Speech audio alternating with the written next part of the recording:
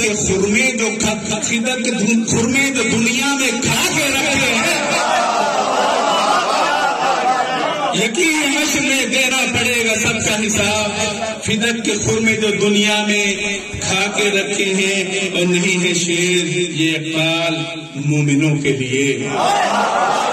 नहीं है शेर, ये अकबाल मोमिनों के लिए। विला के सागरे रंगी सजा के रखे समझता रहा। जुमला रजीव देखिएगा जरा। ये क्या कि काबा अली से अली अली बोले, खुदा से जिसका है रिश्ता अली अली बोले, अली को एक जमाना खुदा समझता रहा, मगर खुदा का है बंदा अली अली बोले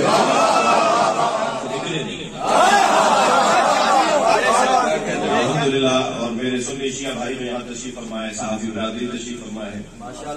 डॉक्टर तबीब अतिबा दानश्वर और इंजीनियर और मुख्तलिफ़ शुबाई ज़िंदगी से ताल्लुक रखने वाले सियासतदान तशरीफ़ फरमाए। सहाफी बरादरी अदीब तशरीफ़ फरमाए। तो ये ये हुस्न है तरे हुसैन पे मिलते हैं रब मिजाज के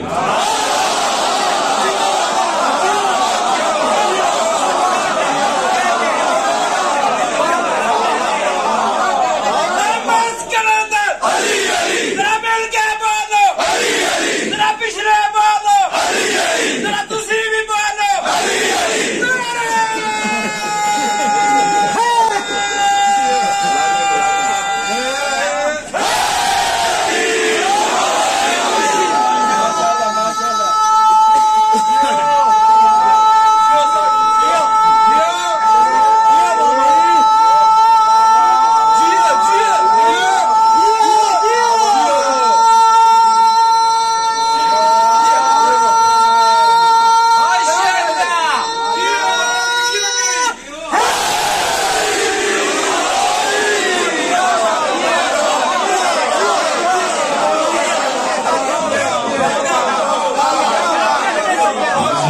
लिहाजा इस ज़िक्र को गनीमत जाने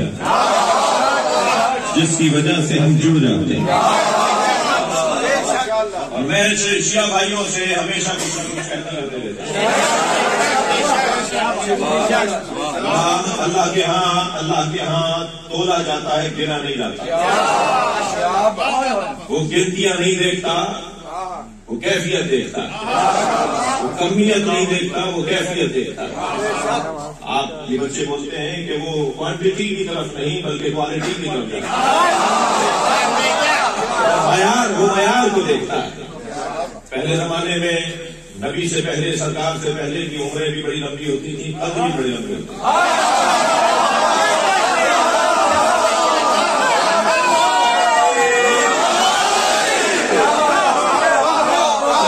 आदमी आदमी जो है वो सत्तर सत्तर फुट के और उम्रें भी जो है वो दो सौ साल चार सौ साल तो कोई बात ही नहीं आठ सौ साल, छह सौ साल की उम्रें सरकार और सरकार के जमाने में कद भी अल्लाह ने कष्ट कर दिए।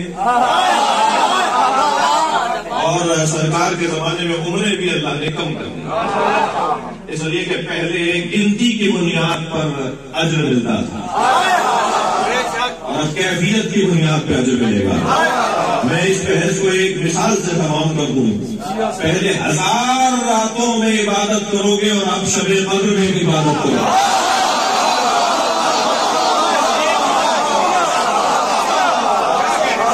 पढ़े मोहम्मद वाले।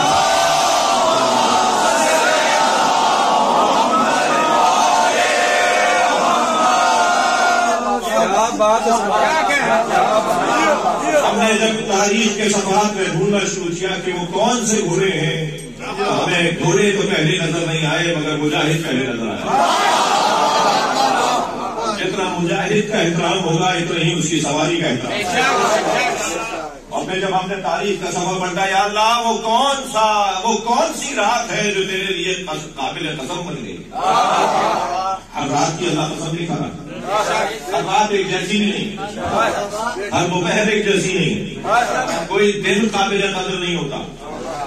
कोई लम्हा काबिल कदर नहीं होता। निस्बत होती है जो उसे काबिल बनाता आपने ढूंढना होगा कि वो कौन सी दोपहर है कि जो इस काबिल हो गई। वो कौन सा सूरज है? वो कौन सा चाँद है? अजीजा ने ग्रामी जब हमने तारीख के समय पलटना शुरू किए तो हमें एक ऐसी दोपहर नज़र आई। जिसमें एक भाई ने दूसरे भाई का बाजू उठाया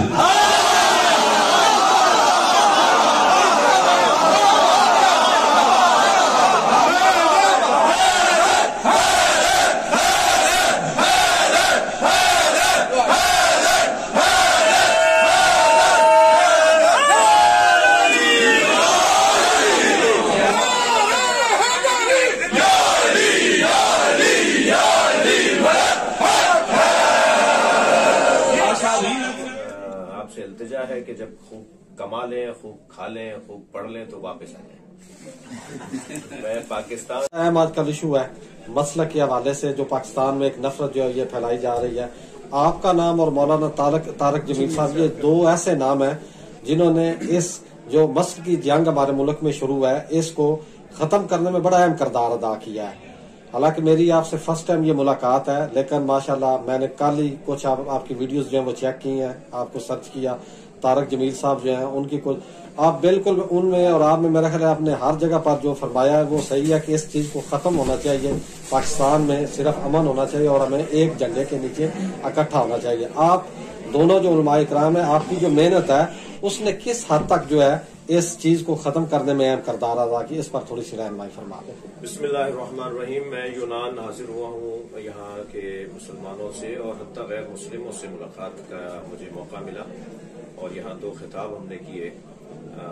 जनाब अशीर हैदर साहब की मेजबानी में और आप सबका ममनून हूँ कि आपने पजीराई की, बहुत ही मोहब्बतों से मुझे नवाजा कदरदानी की। और यहाँ भी एक ही, जहाँ जा रहे हैं, वहाँ एक ही पैगाम और एक ही मिशन लेकर जा रहे हैं। और वो ये है कि हमें अपने दो तरह के भाइयों से मिलना है। एक हमारे दीन में जो हमारे भाई हैं और एक जो हमारे इंसान होने में हैं और ये कायदा और फार्मूला मौलादी का दिया हुआ है, हज़रत मालिक अशतर से फरमाया था कि तुम्हारे दो तरह के भाई होंगे। एक तुम्हारा दीन में भाई है और एक इंसान होने में भाई है। पाकिस्तान में फिरकावारियत का एक इफरीत एक जिन, अल्हम्दुलिल्लाह, बोतल में उतार लिया गया है और अब उस जिन को कोई पूछने वाला नहीं है और अब इनशाला उसकी उम्र खत्म होने वाली है। जहाँ तक मसालिक का और अध्ययन और मकातब का ताल्लुक है तो ये हज़ारों साल से अध्ययन और मकातब है। मसीहियत की उम्र हज़ारों साल पुरानी है। इस्लाम चौदह सौ साल पुराना एक पैगाम। और फिर इस्लाम में दो तरह के स्कूल जिसे सुन्नी और शिया कहा जाता है ये उसी वक्त से चले आ रहे हैं। तो हम आपस में रिश्तेदार भी पड़ोसी भी एक दूसरे के साथ कारोबार करने वाले एक दूसरे के साथ पड़ोस में रहने वाले आ, सुन्नी और शिया एक मुद्दत से इस दुनिया में रहते आ रहे हैं। तो ये मुमकिन है जैसे एक घर में चार भाइयों में मुख्तलिफ़ ख्याल होते हैं ऐसे एक वतन में दो ख्याल और चार ख्याल का होना कोई खिलाफ कयास नहीं है। लेकिन उन ख्याल की बुनियाद पर, उन अकायद की बुनियाद पर एक दूसरे से दुश्मनी करना, ये माकूल नहीं था। और और पाकिस्तान में खास तौर पर फिरकावारियत तो कभी से नहीं रही। फिरकावारियत को दिखाकर पीछे सियासत रही है। यानी सियासी मकासद के तहत उन कमज़ोर लोगों को आमादा किया जाता रहा जिनके पास या वसाइल की कमी होती है या फ़िक्र की कमी होती है। मैं एक बात कहता हूँ कि कुछ लोग जहन से सोचते हैं और कुछ अपने पेट की आग से सोचते हैं। तो जो पेट की आग बुझाने के लिए सोचते हैं, वो लोग खतरनाक हैं और जो दिमाग और जहन से सोचते हैं, वो लोग मुफीद हुआ करते हैं। अल्हम्दुलिल्लाह, मैं यहाँ मौलाना तारिक जमील हफिजुल्लाह को भी याद करूँगा कि उनका जो कारनामा है पाकिस्तान में करीब लाने में, और मैं भी एक इसी मैदान का सिपाही हूँ। कि हम करीब लाने। मैं खुद अमली तौर पर अहल सुन्नत के पीछे नमाज़ पढ़ता हूँ।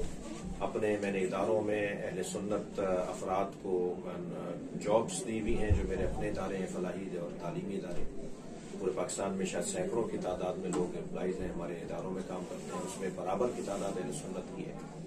और खास मेरा अपना जो दफ्तर है, मेरा अपना जो स्टाफ है, उसमें भी अहल सुन्नत की तादाद में कसदन रखता हूँ, ताकि सुन्नी शिया अमली तौर पर एक दूसरे से करीब आए। मौलाना तारिक जमील और हमने मिलकर वो जिन अलहमदुल्ला बोतल में उतार लिया है। और हमारे को सियासी मकासद तो है नहीं। हम दोनों अगर मिले हैं तो इस वजह से नहीं मिले कि हमें कोई इलेक्शन लड़ना है, बल्कि हम इस वजह से मिले हैं कि सुन्नी शिया को करीब करें। तो उसके बड़े असरात, मैं सिर्फ़ एक मिसाल दूँगा कि आपने जैसे फरमाया, क्या नतीजा लिया। एक बहुत बड़े अफसर हैं, वो कहते हैं कि मुझसे उन्होंने कहा कि मैं कुछ नफरतों की बातें सुनता था अपने ऑफ़िस में। मगर जब आप मौलाना तारिक जमील से मिले तो वही अफराद जो नफरतों की बातें करते थे, वो अफराद प्यार की बातें करने लगे। तो हमारी मुलाकात से हमारा क्या कम हो गया, हमारा क्या नुकसान हो गया, बल्कि हमने उम्मत को एक सुकून फराहम किया।